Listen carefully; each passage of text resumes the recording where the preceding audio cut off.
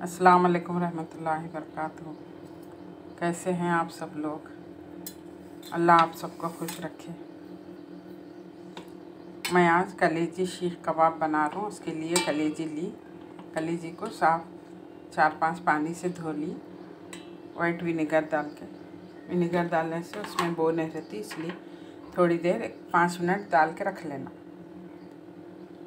अब इसमें मैं लाल मिर्च पाउडर, धनिया पाउडर, हल्दी, ज़ीरा, नमक, काली मिर्च।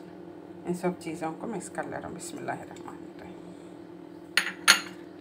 ज़्यादा मसाले न डाल लेना, कम डाल लेना मसाले। हम इसको फ्राई करना रहता ना, मसाले छुटते तेल में, इसलिए। बिस्मिल्लाहिर्रहमानिर्रहीम अब इसमें तेल न डालना। कुकर में डाल के दो या तीन सीटी लेना इसको।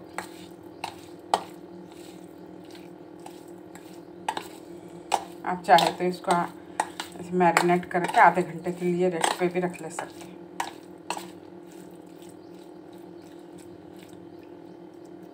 अब इसको कुकर में सीटी लेने के लिए रखूँगी। देखिए, पूरा पानी ख़त्म होने तक इसको पका लेना। अब इसको एक प्लेट में ठंडा होने के लिए निकाल लूँगी मैं। अब ये ठंडा हो गया। इस पे से थोड़ा सा हम कॉर्नफ्लावर का छिड़काव देंगे। तेल में डालने से मसाला नहीं छूटता, इसलिए मैं थोड़ा थोड़ा डाल लेता ठंडा होने के बाद में डाल लेना, गरम नहीं डाल लेना। बस इसको मिक्स कर लेके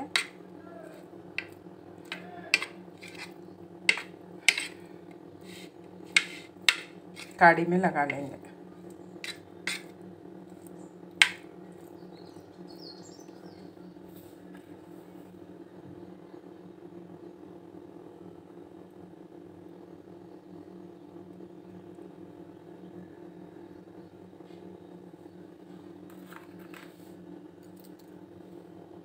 गाढ़ी होती है ना, इसमें लगा लेंगे।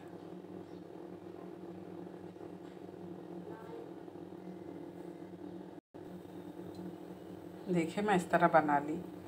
अब इसको तेल में तल लेंगे।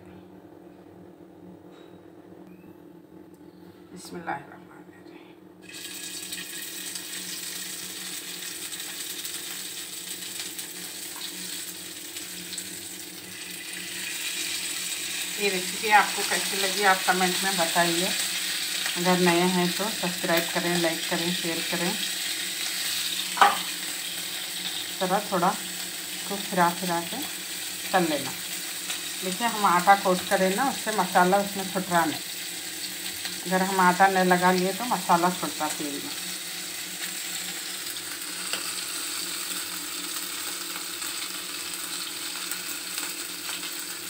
लाल भी होते मसाला भी नहीं छोड़ता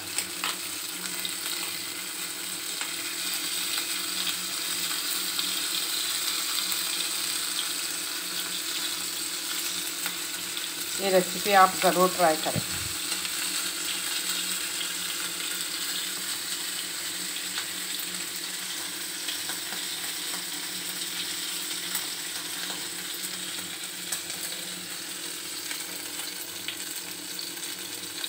नीचे कड़क भी हुई। ज़्यादा टाइम नहीं लगता, दो या तीन सीटी लेना। गलाना रहता, अंदर तक पकना रहता ना, इसलिए। सीधा आप शीख लगा कर तल लेंगे तो कच्ची रह जाती है अंदर तक नीचे क्रंची हुआ। और मसाला बिल्कुल नहीं छुटा तेल में।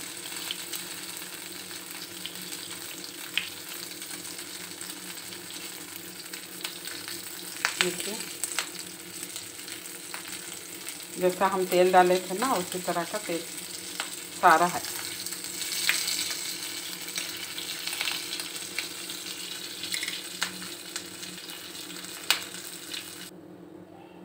लीजिए, तैयार है। कलेजी शीख कबाब। कैसा लगा?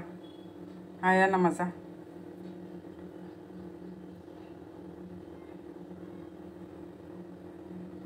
आप भी मेरे अंदाज़ में बनाइए इन आपको भी पसंद आएगा। मेरे चैनल को सपोर्ट करते रहें। अब तक सपोर्ट करें, आगे भी सपोर्ट करें, प्लीज़, साथ रहें मेरे। देखिए, कड़क है। बिल्कुल कड़क है। अंदर से सॉफ्ट, ऊपर से कड़क होती है। अल्लाह हाफिज़।